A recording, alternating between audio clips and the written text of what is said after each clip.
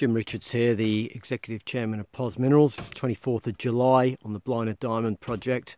Doing a little bit of maintenance work on our excavator. We just dug this trench here, which is very exciting. It's our first trench on the project site. Um, Michael's there logging away.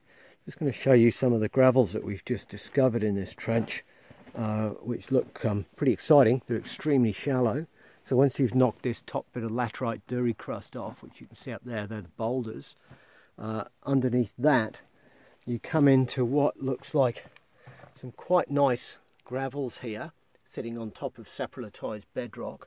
Um, here you can see some of the clasts in here. There's some fairly coarse clasts in amongst some rounded material, quartz and um, and uh, laterite and various bits of bedrock all sitting in a sort of variable from an original channel, as you can see, is quite variable here, It's going up and down. This gravel is extremely shallow. It's just sitting virtually at the surface. You just knock off the top little bit, little layer there, you're straight into it. So this is stuff that we very, very much want to test.